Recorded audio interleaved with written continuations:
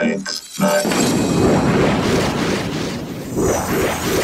Eight, six, nine.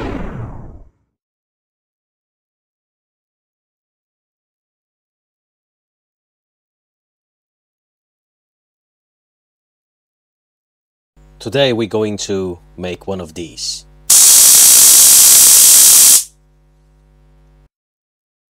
To assemble this we need two printed parts, which is in PLA. You can also use other filaments to reinforce it a little better, but like the CF ABS I tried here. But since my printer was not deciding to make it really flat, I turned back to PLA, which is fine in my opinion. It is rigid, it won't have any leakage on the left or right side. So the parts that other parts that we're going to need are the voltage upper.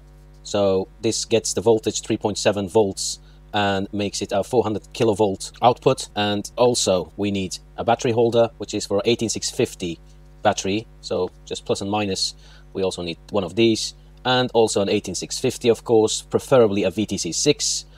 And we need a momentary button. We also need one of these on-off switches. And also we need a USB charger, which is a Type-C for 18650 and also four inset brass. They look like these. And we need rectangular uh, M3 bolt holder. We need six M3 bolts. Four of them, for my preference, are black, going to get onto the outside of the uh, printed part, which will look sleeker. And I have also two metal bits. And I'll tell you later why we need the regular non-painted uh, M3 bolts. So these are all the parts that we need for the assembly of this taser, what are we going to use to assemble it? We need a soldering pen. We also need some flux, paste flux. You can get any type you like. We need some solder. We need electrical wires, different colors preferably. So let's start with the assembly. This video is sponsored by PCBWay.com, the world's go-to supplier for premium custom circuit boards. Tell us what you need then let us design and manufacture your PCBs to the highest level. Low print runs and 24-hour turnarounds with assembly starting from just $5.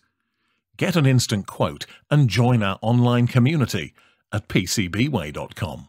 So now we're going to install the brass insets. What you need for this is an soldering iron and you have I preferably use 300 degrees Celsius on it and push it gently in as you can see in the video.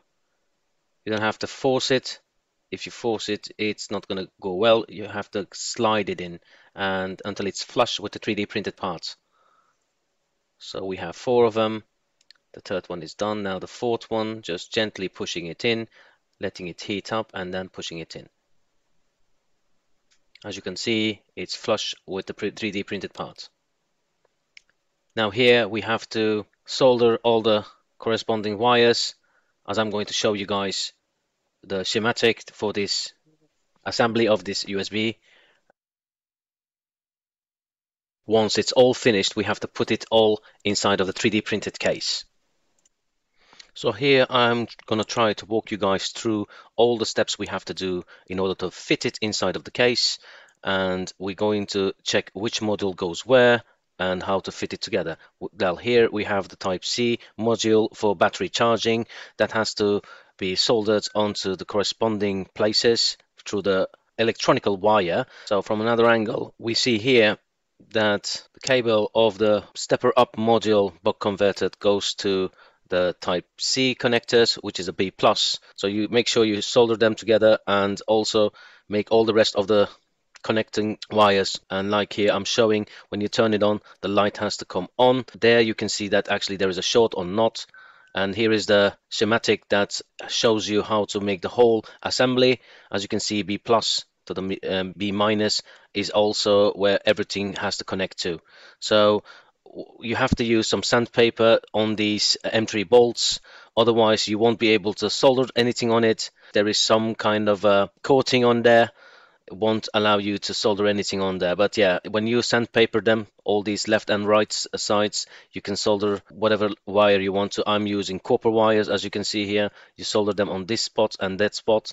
And when they are soldered into the place make sure the connection is correct. Then the connection isn't loose at all because if those come loose it won't work. And it might even damage your taser uh, in the whole assembly so other things I can talk about is step up module as I said has to connect to the type C connector on the B plus and um, B minus also as well.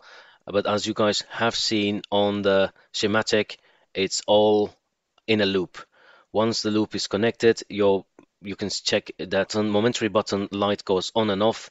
So also make sure nothing is touching each other where it's not supposed to touch. That's what the assembly looks like. And it's a tight fit. So once you assemble everything, you can use some glue pen and also these are the wires that we have used, electrical wires corresponding all to uh, the colors that on the schematic goes correspondingly and otherwise you might be confused after you have to reopen it for some adjustments or whatever. Here, this is the upper bit that has to go onto the assembly and as I said it's a tight fit. You have to fiddle around a little bit from the bottom and on the top as well. But if you made everything on its right exact spot it should be really uh, press fit and maybe a little bit help of a screwdriver pushed it in and then it goes in easily. Apply some pressure and has its fall and you press it in like this and then there will be a little bit of gap on both sides.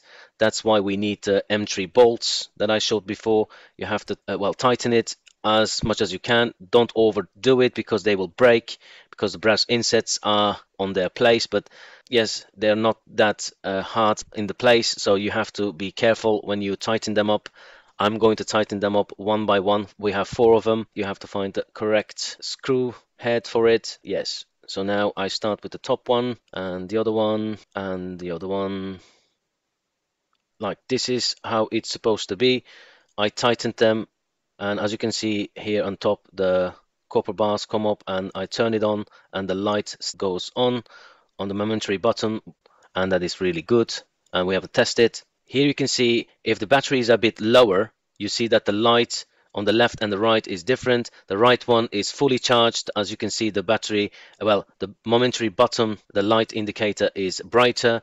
Then on the left one, it's actually like a, a saying that the battery is empty or mediocre full.